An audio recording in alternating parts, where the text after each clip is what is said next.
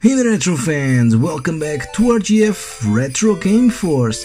And Christmas is coming by, it's coming close. And that's why I'm. Wait a minute. Wait a minute. It's not because of Christmas that I'm giving up these games. Sorry? And sorry. So, 300 subscribers I reach, you remember the video. So, let's see who won these three awesome games. Stay tuned.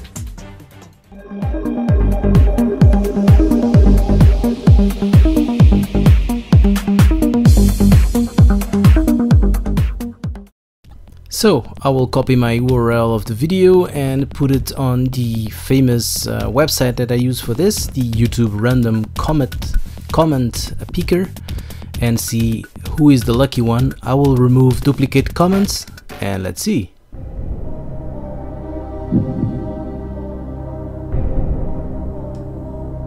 And the winner was Luca Nidos. Luca Nidos, you're the lucky guy. So I will ask you for the details uh, on a on your comment.